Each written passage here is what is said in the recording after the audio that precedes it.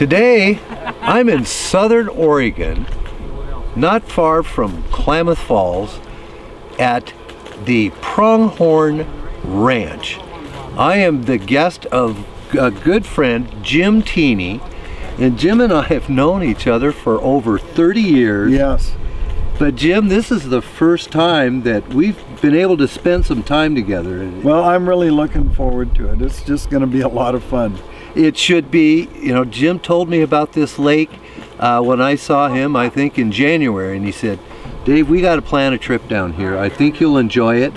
And it's noted for rainbow trout and some big ones.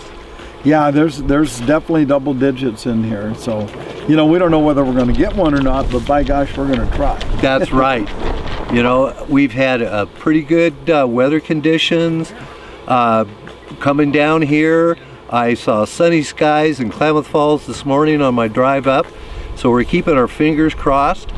And uh, Jim, uh, of course, will have a great selection of his teeny nymphs. Now, teeny nymphs that was the birth of a company that's been around now for 42 years. Yes, yeah.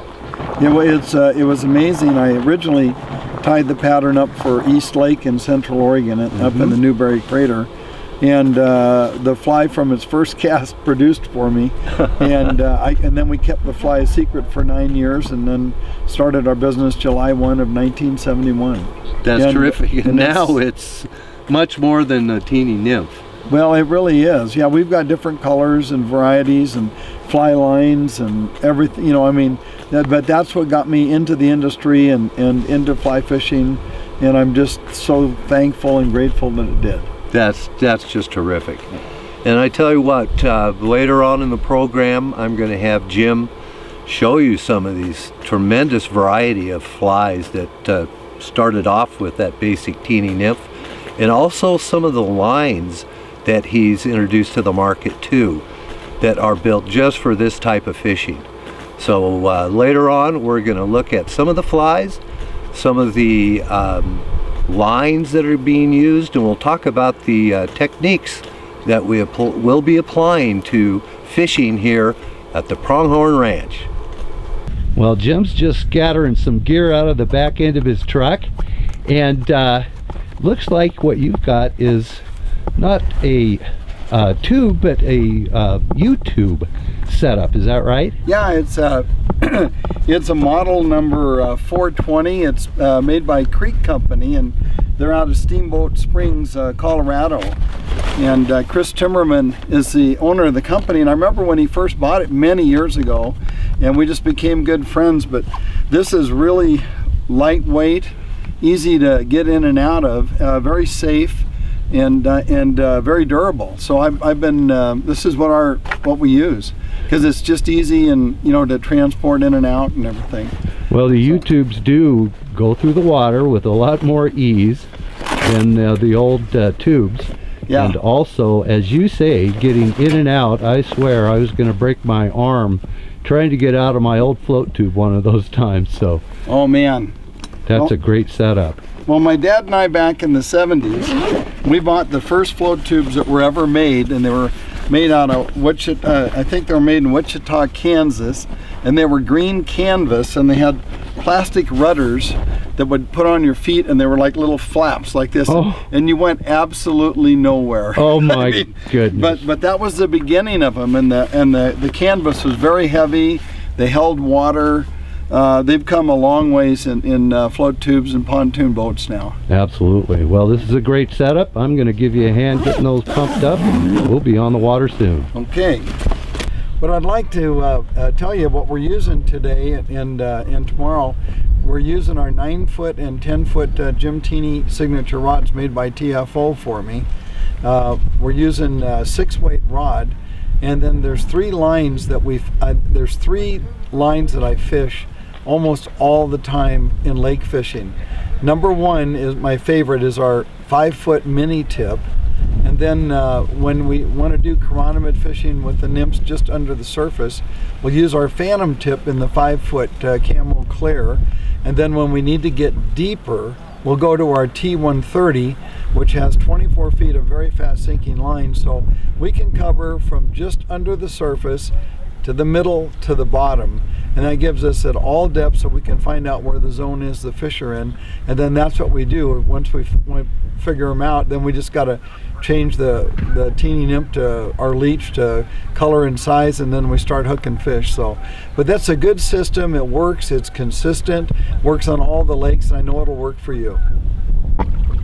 Wow. It is a beauty. Oh, good.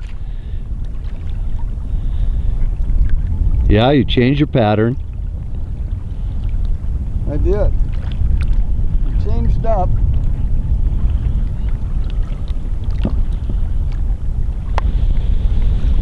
This one looks like it could go four or five pounds. Oh, oh, I almost had it. that was close. oh, that's a great fish. Yeah. Oh my. Yeah.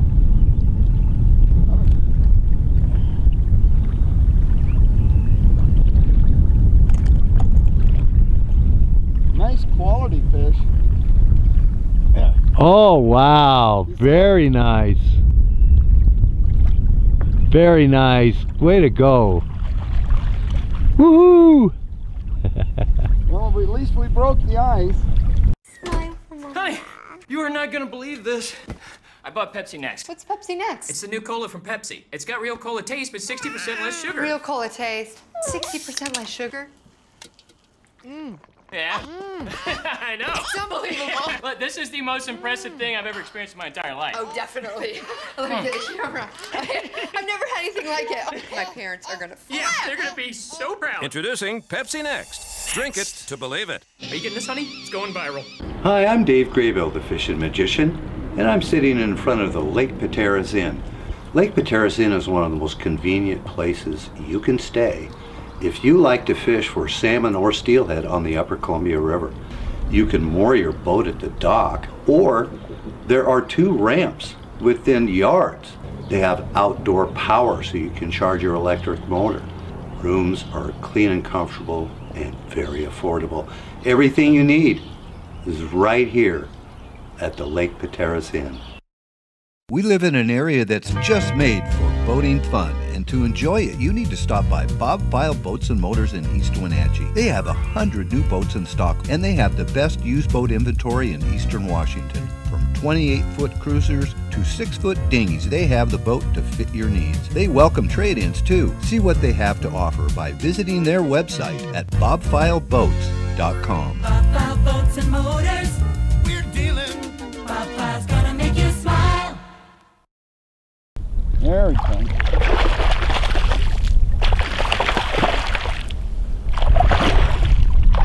Oh, that's a good one. Yeah.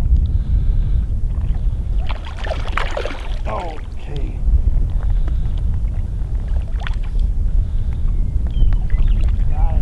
Nice color. Oh, look at that. Yeah. That's great. Wow. That's about as hard a hit as, as you can get. he grabbed it. Good. Oh, that's good.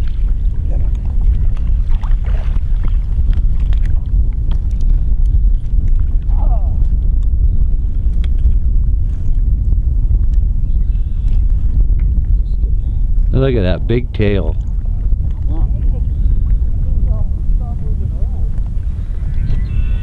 Hang on there. Whoa. You got it? Yeah, very nice. Well, let me show you. This is um, the original size of the first teeny nymph. This is on one of our custom hooks. It's a size 8. And I'm going to tie up a fly with the ringneck pheasant tail feather. And I want to show you that what I did is I put a, a thread base here. And notice that I'm using white thread.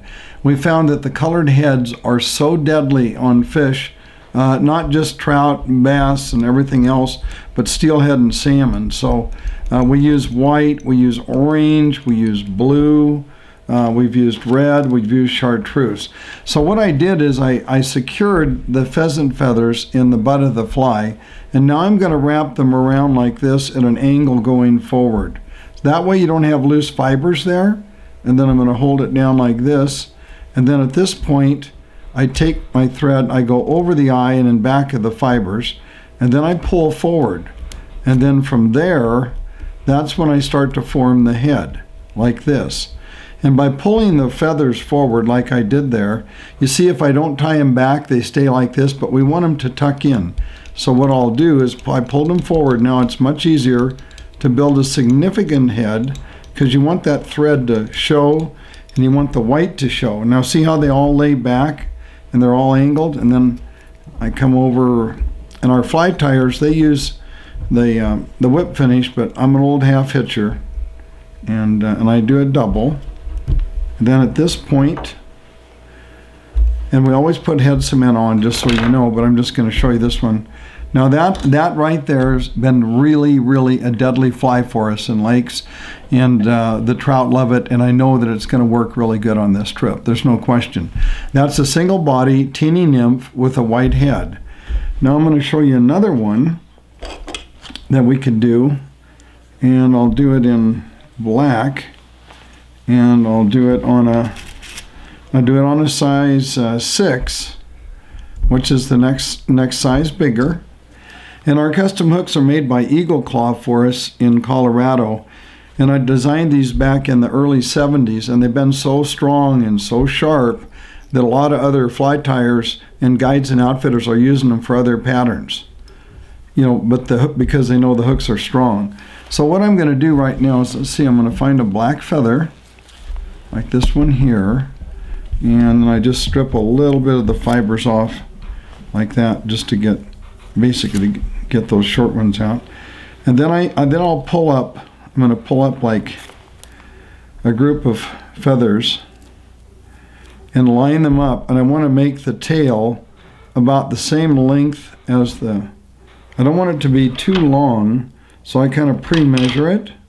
And then I set this on here take a few wraps like this just enough to secure it you know because you don't want the fibers and the feathers you know pulling out the back end.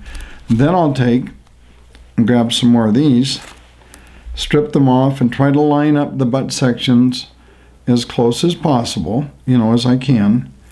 And then I just barely trim them off right here. Because just so you know the number six hook like this requires really good long fibers these pheasant fibers to to go the full length. And then at that point I skip forward and I spread these fibers out go around once and twice and I check the length and I'm able to go three. And then I go over the eye and in back of the feathers and I take my thumb and then I pull it forward like this.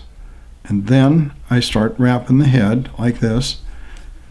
And this becomes just because I've used our special size A thread which is really hard to break this now is not just a, a teeny leech it's a egg sucking leech you see just by changing the color of the thread you change what the fly looks like and by doing that, I mean, it makes an amazing pattern. And if you want, and we've been doing it on some, we stick a little bit of crystal flash in the tail when we tie it. So have a little bit of sparkle back there. And you could do blue, you could do gold, you could do silver, you could do any of the, you know, any of the, the colors. Uh, and you could do it this way and it's deadly effective, or you could do it with the flash in there. And so there's that pattern. And then there's one more that I'd like to tie up and and it's really a absolute killer and all you'd have to do is ask my wife Donna because she literally hammered him and I, I didn't know how this fly was going to work or not and so uh, but I tied it up and I thought boy it looks really really good and so we were out one morning here and we had to till noon to fish at Pronghorn and I, t- I said honey why don't you put this on and she was using our five foot phantom tip which is that kind of like a chironomid slow sinking, you know, camo type line on the tip. And I says, put this one on. I says, I think it could be really good.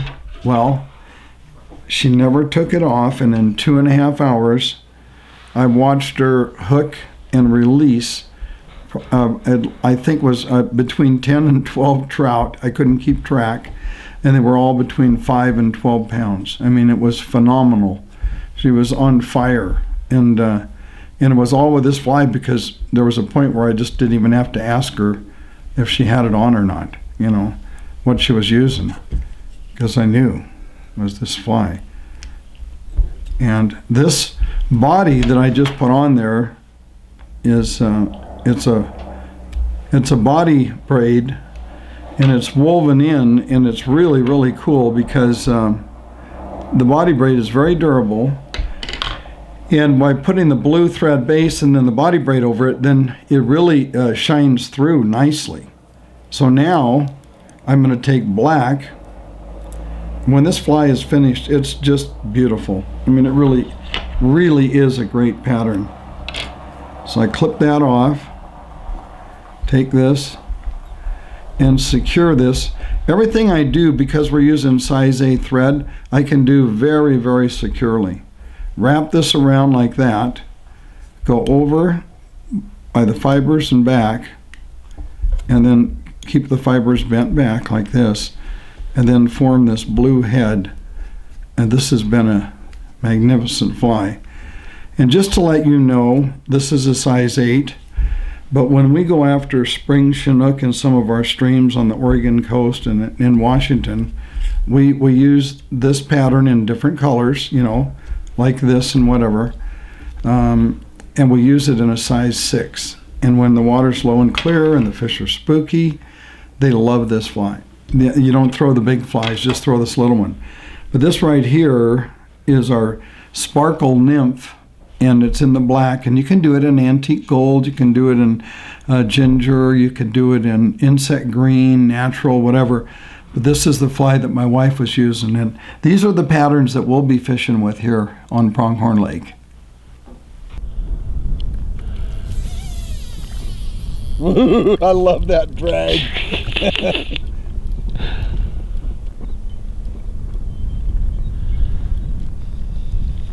When he came out of the water, that I that's a big one. he's a good fish he's good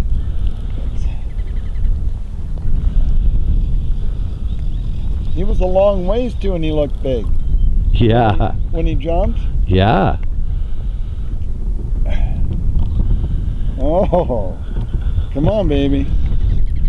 Oh, Look at that.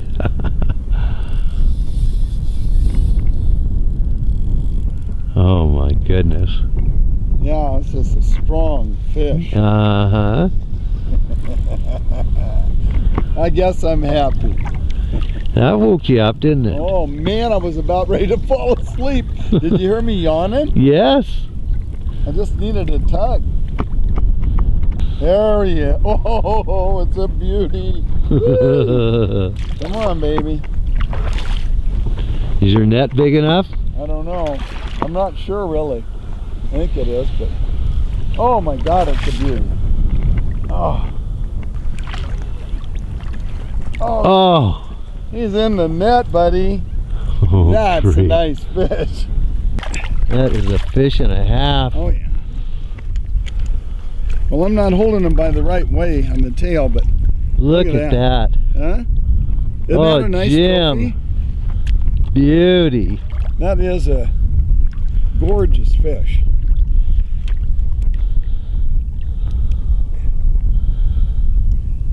There the hook's out. There it is. Monster. Hey, that's what we're after. Man, that's great. well done. Thank you. Wow, I'm awake now. No one is happy about having to repair a vehicle after an accident. However, I was very happy when I chose First Choice Collision Center when I needed this service. I can't say enough about how they treated me. Fast and friendly just doesn't say enough. They have amazing technology to make a damaged vehicle look like new. At First Choice Collision Center, you can expect modern service with old fashioned values. That was my experience, and I'm sure it will be yours too. Gaboon Productions LLC is a full service video production company right here in the Wenatchee Valley. Gaboon is a term coined by my grandfather, commercial fishing in Alaska. It's when a bunch of fish hit your net all at the same time. We capture life as you see it, from filming those special moments to catching something big. Gaboon Productions LLC can record it, edit it, and save it for you forever. We do weddings, theater productions, concerts, reunions, commercials, and more. Go to gaboonproductions.com on the web, check us out on Facebook and on YouTube. Gaboon Productions LLC, the little video company capturing your big moments.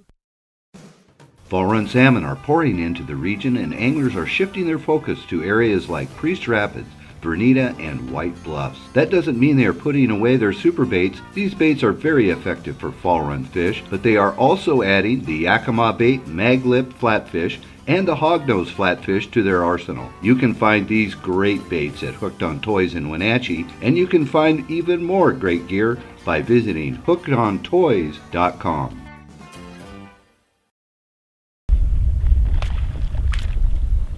Oh yeah, he's a he's a beauty. This could rival our biggest one. Oh God, I'm so excited.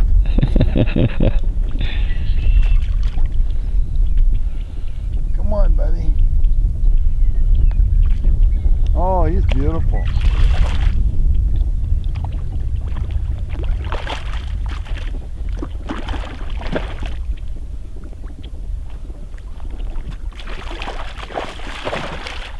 Oh, so close. Oh, oh yeah. That's a big one. Nice fish. They're so hard to control. Oh my goodness, Look at that. that is a beauty. Yeah. Yeah, he is. Well, here he goes. That's a. That's probably at least seven, eight pounds. That's what I'm thinking. It's got to be eight pounds.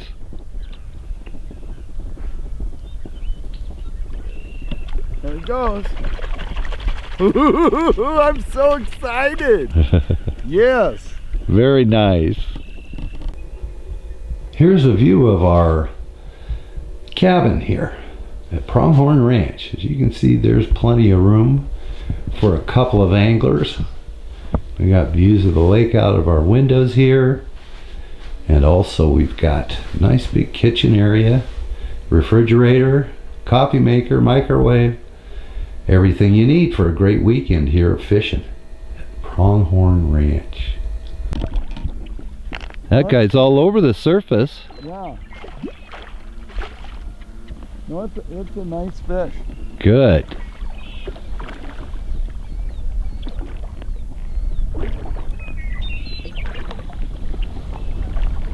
Is this a, am I am I in good position? Yeah.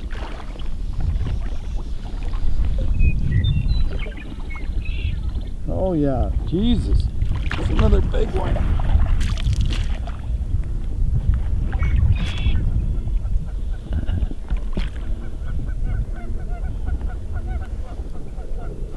Oh, he's right there.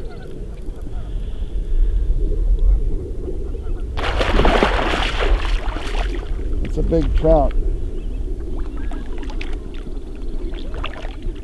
Oh, yeah. Get in. Oh, he almost Yeah. didn't fit. Huh? I know. I had to, had to nurse him into that net. Wow.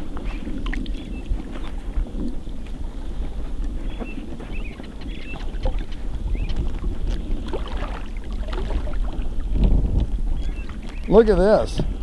Oh, my goodness. That is a brute. Beauty. Your Town Ford is kicking off the season with the best deals of the year. It's the Built Ford Tough Truck event. Great power and amazing fuel economy means no compromises. And that's what you get in a truck built Ford Tough, like the Ford F 150, with a powerful and efficient EcoBoost engine. The power you want and the economy you need. Or Ford Super Duty, with its amazing 6.7 liter Power Stroke Turbo Diesel. If you're looking for power, payload, towing economy, your Town Ford's got the truck for you. Head to your Town Ford in East Wenatchee. The goal of Battery Systems is to provide the best products combined with the most efficient service at competitive prices. I've found their people live up to this, so don't buy anything without talking to them. You should make their batteries and accessories your choice to power your vehicles and boats. This is Dave Graybill, and I choose Battery Systems to keep me running onshore and on the water. To find a Battery Systems product expert in a location near you, log on to batterysystems.net. When you're fishing at Banks Lake, Lake Roosevelt, even Rufus Woods, the place to stay is at Coulee Playland in Electric City.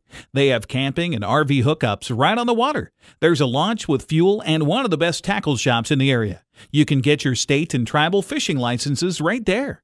Coulee Playland has been the friendly place to stay for fishermen for decades, and if you haven't camped there yet, you'll learn why.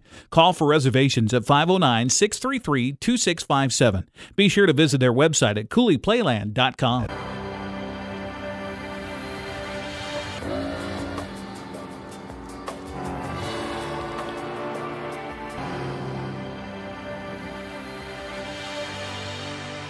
The Evinrude E-TEC. It's a dream come true. For E-TEC engine sales and service and repair of all boats and motors, call Lyle's Boats and Motors in Cashmere. 663-5191. There he is. Another big one, another nice one, you know. Oh, yeah. Oh. Jesus, get my ass in there. No. Come on. They're not Oh, my goodness. they're not easy to get in that net. This is like not a good net. Well, that's a beauty.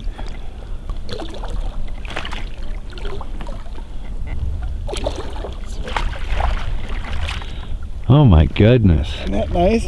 Look at that. Beautiful. Yeah, that he's ready to go. Okay. Nice. Thank you.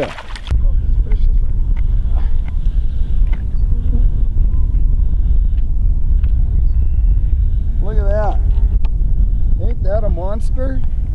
Yes. Trying to get the fly out.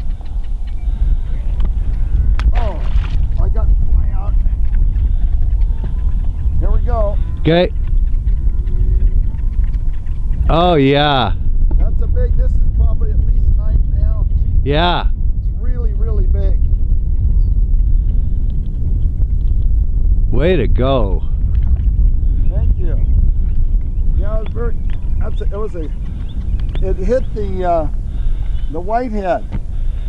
Well, we're about to say goodbye to the Pronghorn Ranch and the great fishing and Jim, the great company. Oh, it was I fun. just have to tell you, it was so much fun. Well, you know what? Time with you. Uh, well, that goes two ways. Uh, we had uh, two days of, uh, you know, we, we worked for them, but by gosh, we caught some nice fish. We did. Yeah. Uh, yesterday, particular, we Yeah. spent a lot of time on the water. We were I on the know. water at 6:30, Yeah, and we caught fish all day long. we did. know. yeah, it was, one of really those really nice days. Just enough action to keep you going, and the size of those trout were pretty impressive.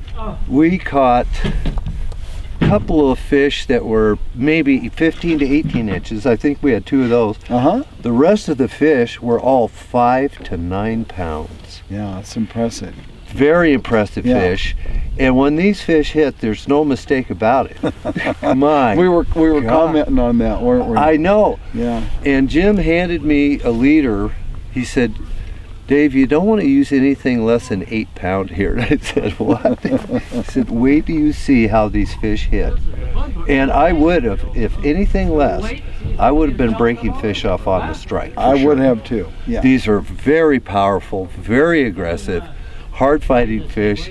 Tremendous. Do you think we should come back? I think the Pronghorn Ranch is going to see us back again All right. sometime. Well, thanks, thanks so much for everything. I'm glad that we put it together after all these years. We got to spend time on the water. Absolutely. Tell Mike thanks for me, and I'll be calling him and sending him an email too. And anybody that wants to find out about the Pronghorn Ranch, just go to the web and just search for Pronghorn Ranch fly fishing, and you'll find it and you get all the details about how you could plan a trip down here too. There's there's a lot of double digits in here. We didn't get those guys this trip, but we'll get them next. You've caught them, and I know Danny Rickard's out here, and I know he's caught two fish out of this lake over 20 pounds. Absolutely. So Yeah. they're here waiting for you, the Pronghorn Ranch.